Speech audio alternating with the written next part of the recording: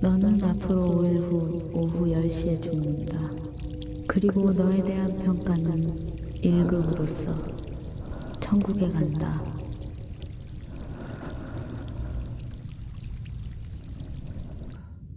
내가 착한 사람이었나? 전혀 모르겠다.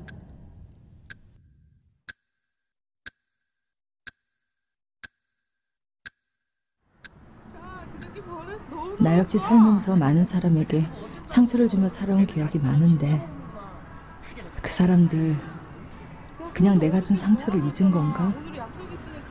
내가 착한 사람이었다면 왜 이렇게 일찍 죽어야 하는 거지? 나 지금까지 행복했었다고 천국보다 더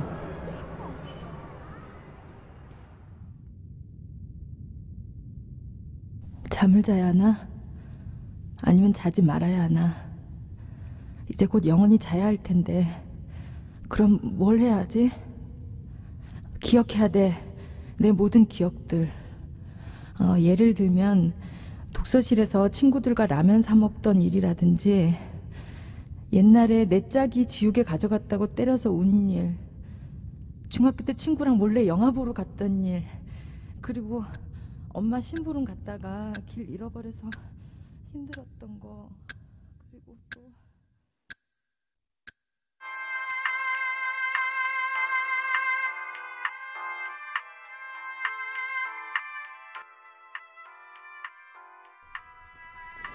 뭐? 헤어지자고? 아, 무슨 소리야 갑자기 무슨 일 있었냐고 아, 말해봐 빨리 나 죽는데 뭐? 아 그게 무슨 소리야 자세하게 얘기해봐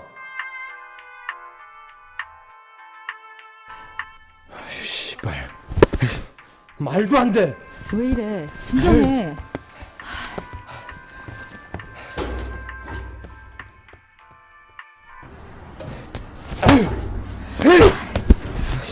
어, 왜 이래? 나도 가만히 있는데 네가 왜 이래?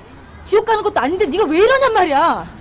가든 천국에 가든 그게 문제가 아니잖아 내가 그걸 몰라?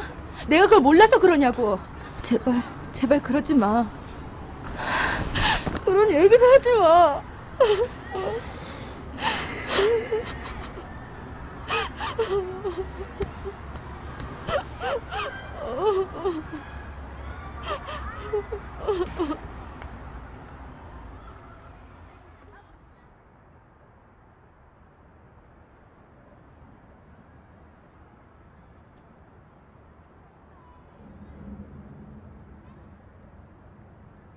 나 잊어. 그리고 그냥 잊어? 너라면 잊을 수 있어? 어, 나 잊게 될 거야. 조금 있으면 나 다 잊게 돼. 너도 엄마도 친구도 나조차도 다 잊게 된단 말이야. 그러니까 나랑 도망치자